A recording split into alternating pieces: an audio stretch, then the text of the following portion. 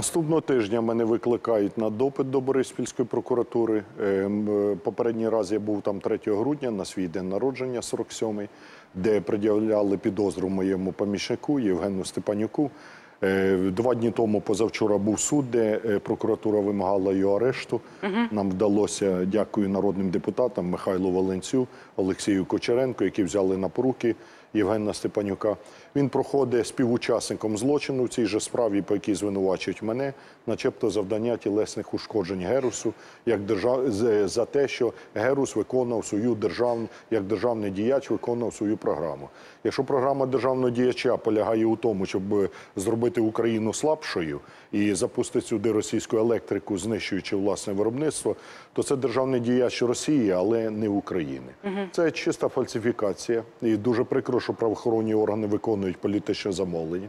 Замість того, щоб порушити кримінальні справи проти Геруса, нам довелося йти до суду, через суд вимагати від СБУ, від НАБУ порушити проти Геруса кримінальні справи за фактом державної зради, за фактом зловживання владою, що потягнуло особливо великі збитки для українського бюджету. І як рухається справа у цьому Е, Суди прийняли рішення на нашу користь, зобов'язали СБУ порушити кримінальну справу проти Геруса за державну зраду і зобов'язав Вищий антикорупційний суд, зобов'язав НАБУ порушити проти Геруса кримінальну справу за фактом зловживання владою. Учора одна народна депутатка, колишня із «Слуги народу, зробила заяву, що Герус отримав 400 тисяч доларів хабаря за те, що провів зміни до закону, які відкрили Україну для російської електрики. Я дуже сподіваюся, що наші так звані антикорупційні органи не пропустять повз вуха ці важливі повідомлення, а негайно розпочнуть розслідування за фактом отримання герусом хабаря.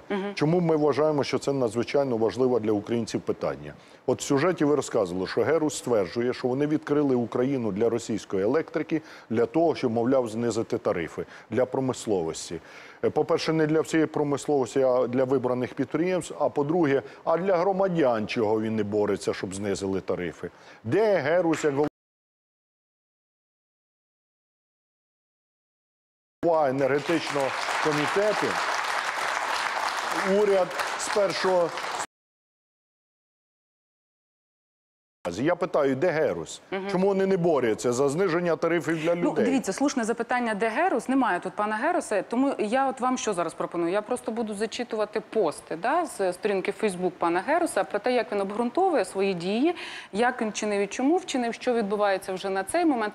Ну і таким чином у нас з вами буде відбуватися діалог. Ну я буду ніби цитувати пана Геруса. Останнього, що у пана Геруса я на сторінці Фейсбук прочитала, це те, що конкуренція, від якої виграє споживач, має працювати на всіх енергетичних ринках. І тут далі пан Герус говорить про в основному про заправки і про ціну е, палива. Це один момент. Але що з цього я хочу так само ще процитувати: конкуренція на ринках це важливий елемент побудови справжніх е, ринків. І зараз є всі підстави, щоб 7 мільйонів українських автомобілістів виграли від конкуренції та ринкових трендів. Ось останнє, що я прочитала у пана Геруса. І знову ж таки, якщо повертаємось до 2233, це законопроект про ринок електричної енергії. Зрештою, я так розумію, 18 вересня це все ж почалося, правильно?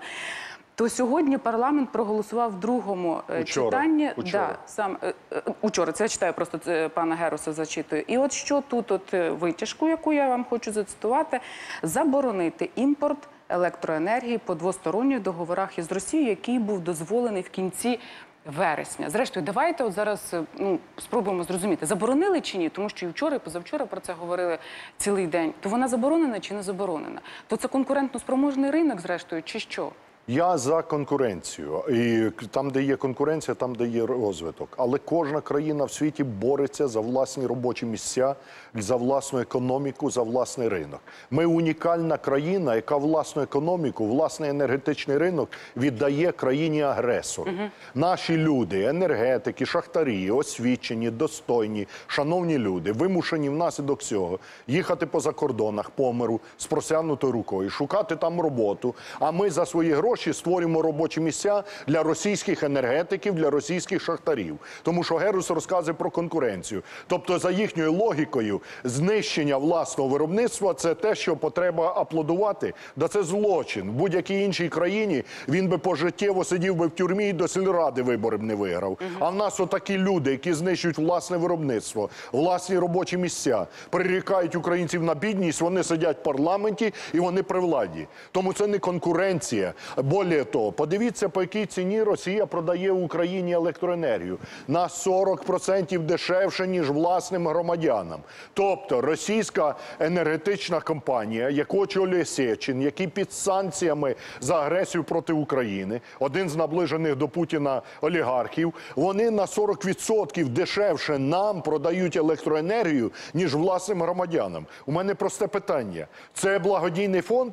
Як вони можуть нижче ринкових цін, нижче своїх громадян продавати нам електроенергію? Це називається в усьому світі демпінг. З якою метою? Коли з дешевою продукцією заходять на ринок для того, щоб знищити власне виробництво. Потім, коли збанкрутують наші підприємства, вони піднімають ціни на продукцію. Так було з газом. Колись ми отримали газ по 80 доларів за е, тисячу кубів з Росії, а потім підняли до 500 доларів за тисячу кубів. Власного видобутку газу немає, власної енергетики немає, і повністю енергетична залежність від Росії. Дивіться. От їхня політика. Це загроза пряма національній безпеці країни.